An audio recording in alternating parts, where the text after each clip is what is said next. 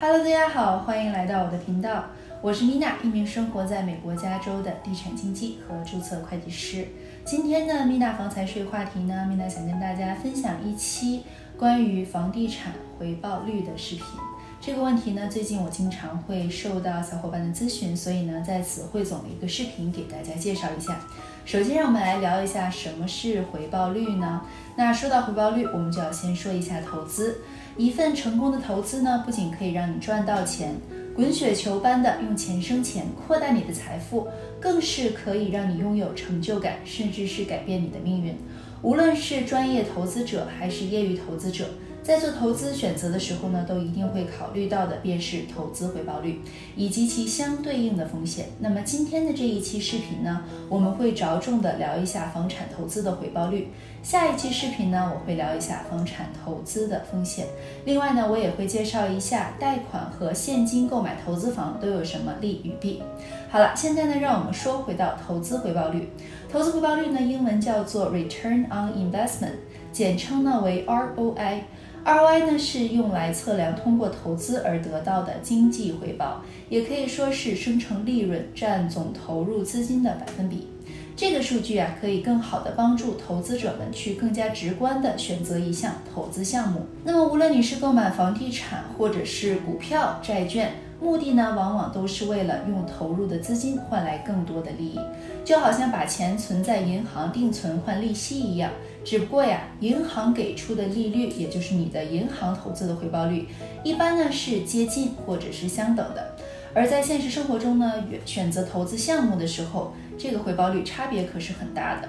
如果你自己不会计算回报率，只是人云亦云的跟风投。到时候稍有不慎，期待的惊喜有可能会变成惊吓哦。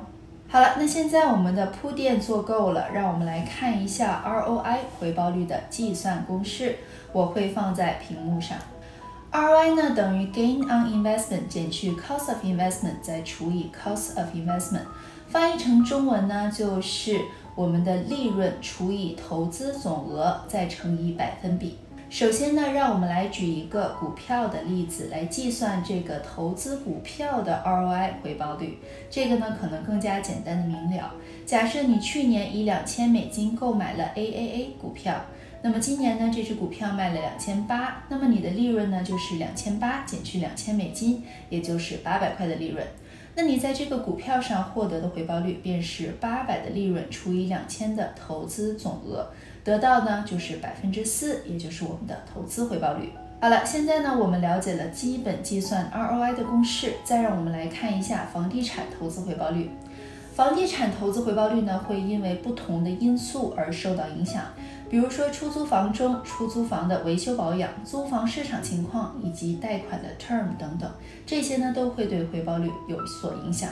那让我们先分两种情况来计算这个回报率：全现金购买以及贷款购买。那稍后呢，我们也会聊一下各自的利弊。好，首先呢，让我们说一下全现金购买的情况。假设呢，你以三十万美金的现金购买了一栋出租房产，你的过户费用也就是 closing cost，假设是两千美金。那你的装修费用，假设我们花了八千块钱，过户费和装修费一共是一万块。那么假设你在该房产投资前期总投入即为三十万加一万块，也就是三十一万。那假设你每月收两千美金的房租，一年呢则收两万四千美金的房租，那相对应的支出包括地税、保险、管理费、杂费等等，呃，估计算是每月四百块的话，那么每年就是四千八百块钱的支出。那每年你的利润便是房租减支出，也就是两万四减四千八，也就是一万九千二百美金。现在呢，让我们以这个利润除以刚开始的投入金一万九千二除以三十一万，那么等于零点零六一九，或者是百分之六点一九。那么在这个项目上，你的回报率就是百分之六点一九。好，现在让我们说一下贷款购买的情况。假设还是这栋三十万的房产，那你只付了百分之二十五的首款，也就是七万五。那你的过户费呢可能会更多一些，因为是贷款，通常会比现金的过户费更高一些。假设在这个 case 里面是四千美金，装修呢我们还是花了八千块，所以呢一共是一万二。那么你的前期投入呢就是七万五加一万二，就是八万七的前期投入。那假设现在我们做了三十年的固定投资，那么利率呢？假设是三点一二五，借款呢为二十二万五。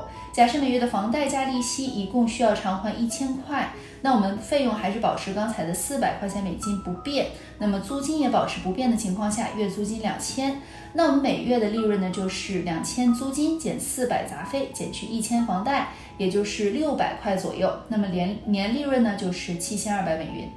那么再用这个年利润除以投入金，就是七千二除以八万七，那么等于零点零八三或者是百分之八点三。所以在这个情况下，我们的回报率为百分之八点三。那么有些投资人呢会把贷款中 home equity 的部分也计算在 ROI 之内。home equity 是什么呢？它是房贷中非利息的部分，也就是我们付到 principal 的部分。那这个部分呢是增加到你的房产净值的部分。这种方式计算呢，可以更大程度的增加你的 ROI 回报率，但是要切记哦，所谓的房产净值不是现金流，你需要把房子卖掉才能拿到这部分的钱。假设房产增值了，房产净值变多，卖房时拿到的现金便会更多。那么反之呢，也是亦然。如何去看每月房贷有多少进入房产净值呢？这个时候啊，就要去看你的房贷月系名表。或者是贷款分期偿还的表格，也就是 amortization schedule。这个时候呢，去计算出刚例子里每月一千的房贷到底有多少去到利息，有多少去到净值。假设七百元为利息费用，而三百块去到净值。那么现在呢，我们重新计算一下，我们新的月利润就是两千美金的租金减四百的杂费，减去一千的房贷，再加上三百美金的 home equity，也就是九百块每个月。年利润呢，差不多就是一万零八百，再用年利润呢除以投入金，即为零点一二四，或者是百分之十二点四。那么你的新的 ROI 就变成了十二点四，比刚才高了很多哦。所以用不同的计算方式，同样的房产下，会得到完全不同的数据。建议投资者在选取投资项目之前呢，一定要查问清楚。好了，现在呢，既然我们提到了现金和房贷购房，让我们再简单的聊一下，当购买投资房时。到底是现金购买好还是贷款购买好呢？其实啊，这两种各自有各自的优势，各自有各自的劣势。先来让我们说一下现金购买的优势。那么，当遇到一栋好的投资房产这个机会的时候哈，现金买家呢往往能更加迅速、成功率更大的抢到这栋房产。而不是等待漫长的贷款评估啊、放款流程啊等等这一系列的流程，而且呢，现金买家会因为购买流程缩短，通常呢他们会有更好的 position 去拿到更好的价钱，而且呢，照比同等买家更加的具有竞争力。另外呢，现金购买的房产过户费用会更加低，不用付给银行贷款的费用，且每月的租金净利润更多，不用去考虑房贷因素。而且啊，现金购买的房子一般出售的时候也会更为的迅速，因为不用结算房贷等等。现金屋主呢，一般不需要考虑房产市场的利率，也不用担心房贷的压力。在有需要的时候哈，也可以通过使用 refi 重新贷款的方式，把房屋里的房产净值拿出来，以备不时之需。另外呢，在房产崩盘、房价暴跌的时候，现金购买的房产不会变成 underwater。underwater 是什么意思呢？也就是说，房贷欠的价值比房产市值还多。那么，零八年爆发的那一次金融危机的时候呢，很多房产就变成了这种情况。现金购买的劣势是什么？哈，那么前期投入资金很大，无形中呢也增加了你的投资风险，而且呀，在税务上失去了每年可以减掉房贷利息部分的这个优势，税务上的优势。另外呢，现金购买失去了通货膨胀 （inflation） 带来的优势。什么是 inflation 的优势呢？稍后我会在贷款部分详细的给大家说明。好，现在呢，让我们来聊一下贷款购买的优势。贷款购买房产呢，减少了前期投入的成本，从而呢降低了投资风险。那么贷款购买呢，分化了你的资产和风险，也就是鸡蛋不放在同一个篮子里的道理。假设你手上有一百万的美金，那么现金购买呢，只能购买一百万的房产一栋；而贷款购买呢，假设是百分之二十五的头款，你呢可以买三栋甚至是四栋。若是每栋呢都有稳定稳定的回报哈，这几栋相加更是可以扩大以及优化了你的投资回报率的。如果用这个贷款贷款杠杆使用的好的话，可以换回现金购买几倍的回报率哦。现在再来说一下通货膨胀会给贷款购买。房产带来什么样的优势？那么当今的社会啊，几乎物价一直都是在上涨的状态。学过经济学的小伙伴呢，可能会知道这个 inflation 通货膨胀呢，在这里面是在作怪的。假设你的房屋呢以三十年固定利率购买，那么每月的房贷是一千美金，二十年后呢，你的月供还是一千美金，是保持不变的。可是二十年后的一千美金，照比现在的一千美金可是值更少的价值啊！去超市就知道，物价每天都在上涨。饼干几年前可能是几块钱，那么十年后可能是十块钱以上。保持我们的房贷固定，可是我们租金却在涨。好的租房市场每年租金都在微微上涨，百分之一到百分之五左右。尤其是在有通货通货膨胀的时候，物价上涨，房屋租金上调的更厉害。